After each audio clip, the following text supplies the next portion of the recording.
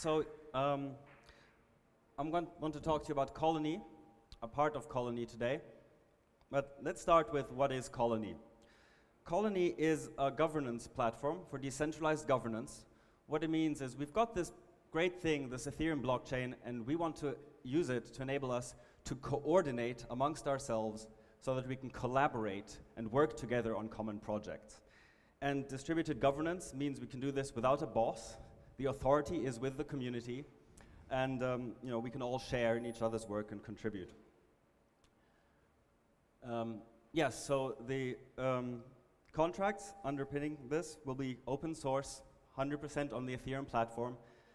Um, it's for developers in the sense that we can, anyone can develop apps on top of it and use our governance platform. We are building an app. The guys are building a great app. Um, here's a quick preview. It's a beautiful uh, task management interface, um, allowing us to you know, work on larger projects together and keep track of who does what. And um, today we're talking more about the Ethereum side of things. So the governance is designed to be fluid. We don't want every little step to be proposal, discussion, vote, because with that level of bureaucracy, you'll never get anything done. It should be, um, you know, the focus on getting stuff done and making things easy. However, there always has to be an option to force a vote on something when there is disagreement. So the vote is sort of a, a, a security back, um, you know, last resort. And today we're going to discuss this little element, the, our voting procedure. So the colony voting protocol. Um, so, you know, traditional democratic view, voting is one person, one vote. It's an improvement from our previous model of one man, one vote. But it's not really useful on the internet because we don't know what a person is.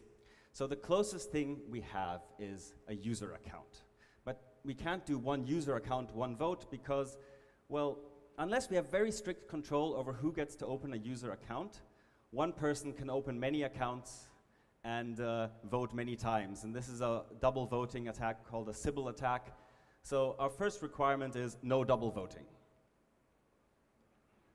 Um, in Colony, the voting will be reputation-based. If you do a lot of good work for a colony, your votes will be worth more because you have contributed more to the, to the and your peers have valued your work.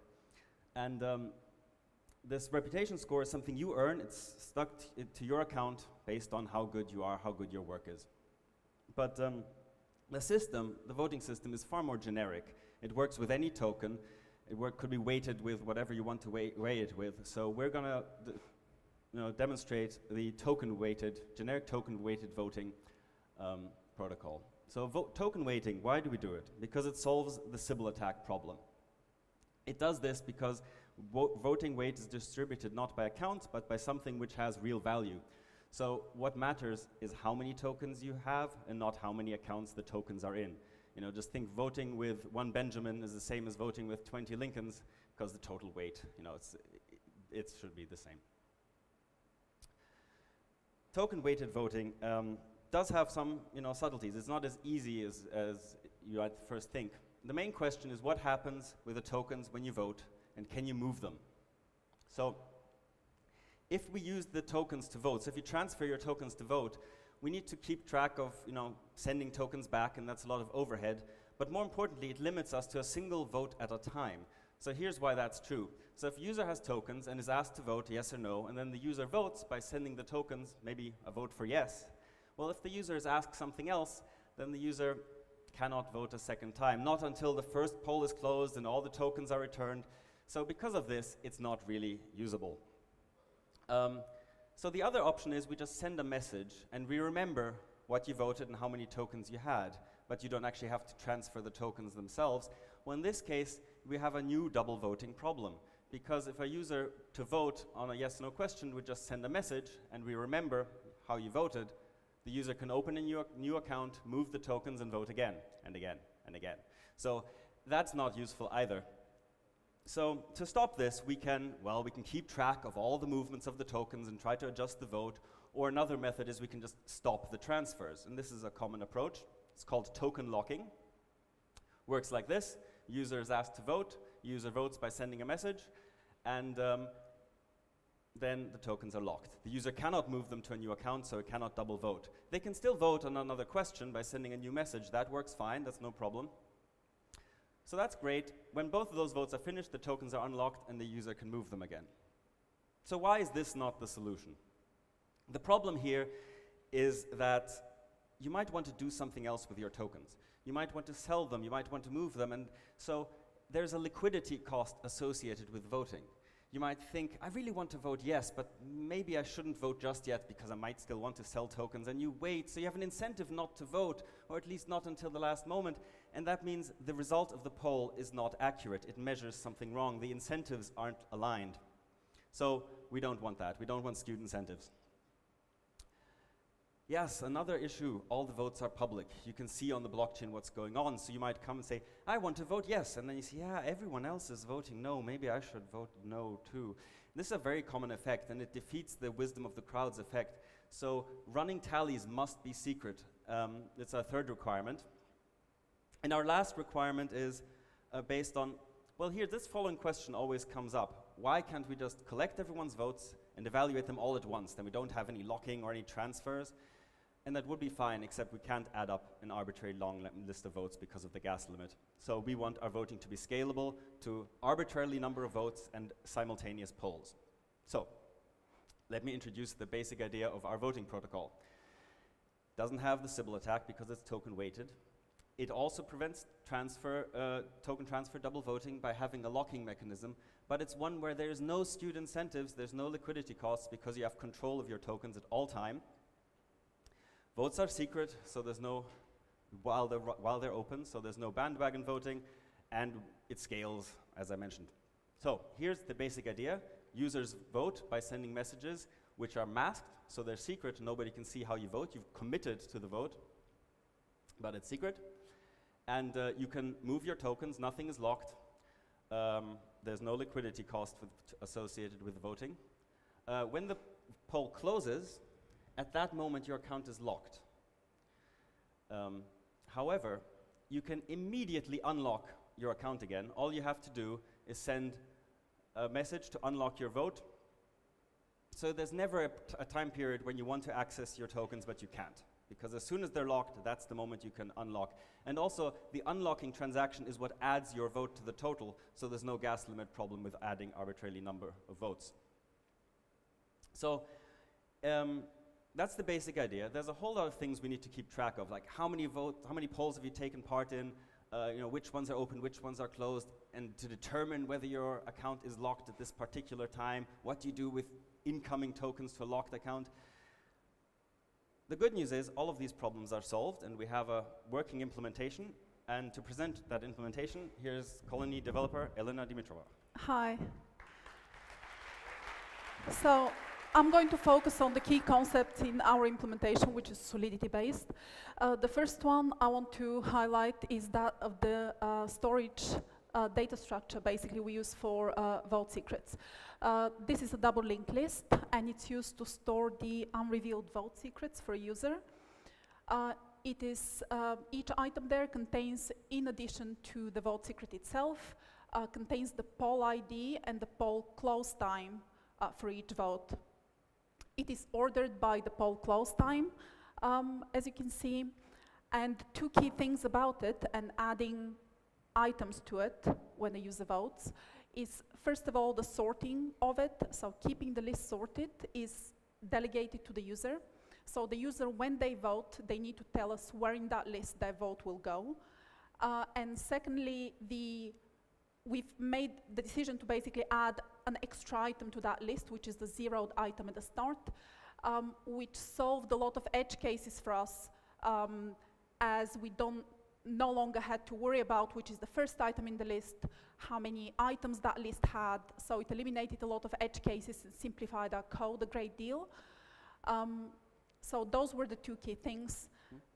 The second purpose of the double linked list is to be able to answer the key question of whether an address is locked. And we do that by simply comparing the um, now timestamp of the current block to the first item in that list and the poll close time there. So in the cases where we do have a vote for a user, which hasn't been revealed yet, For a poll which has already closed, that user account is locked. So in that case, is address locked is true. In all other cases where we have no items in the list or where all polls are still open, that address is open still and not locked. So in the, uh, where this address locked is useful is in the transfer functions of the token contract. So token contracts follow the ERC number 20 standard, which you've heard about a number of times today, and that has a transfer function uh, which essentially transfers the balance from a sender to a recipient. Uh, we've modified that to uh, make two extra calls, if I can get this to work. So the first thing the transfer function does in our case is check whether the sender address is locked. Uh, in the cases where a sender has an unrevealed vote, they need to go and reveal, uh, we actually fail that transfer call and we don't allow them to do that. In the cases where the recipient address is locked, however, we do allow the transfer to go through, uh, but instead of updating their current running balance uh, and making the tokens available to them, we update an on-hold balance, which is an additional um, item in the token contract, uh, where tokens just sit and wait for the recipient to actually unlock their account. So the reveal uh, vote transaction is where kind of it all comes together. So when a user reveals a vote they've previously submitted, the first thing we do, because it's a token-weighted voting implementation, we query the balance uh, of tokens for that user, because we'll need that later. Uh, then we go and do some validity checks of whether the poll has already closed and whether the vote secret they're giving us is actually valid. And if that's the case, we remove the item from the double linked list we saw earlier. Then we need to add up the total tally of the vote, uh, the poll option that they voted for. So for example, if a user has a thousand tokens and they voted yes in a particular poll, the yes vote total is incremented by a thousand in that step. Uh, and this is, note that this is only the case when uh, a poll hasn't been resolved yet. So when an admin hasn't taken a total tally of uh, the options. If a poll has been resolved, i.e. the final counts are in, um, we no longer update the total tally, but we do um, do the next step, which is important, uh, which is to release their tokens.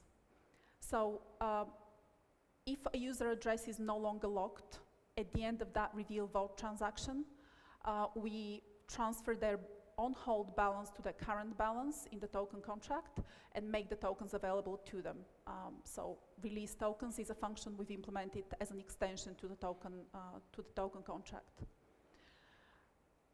Uh, the is address locked can still return true because a user can have other unrevealed votes uh, in, their, in the double linked list that we saw earlier. So it could be the case they voted a number of times and a number of these polls have closed and they're only just revealing the first of the many uh, closed poll votes.